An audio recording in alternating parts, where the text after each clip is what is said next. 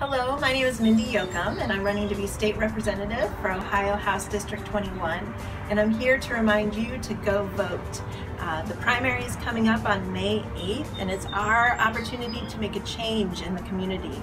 Uh, early voting starts April 10th, so the last day to register to vote is April 9th. If you are not registered, we have a link right here, so make sure you take the time to register and make sure your voice is heard.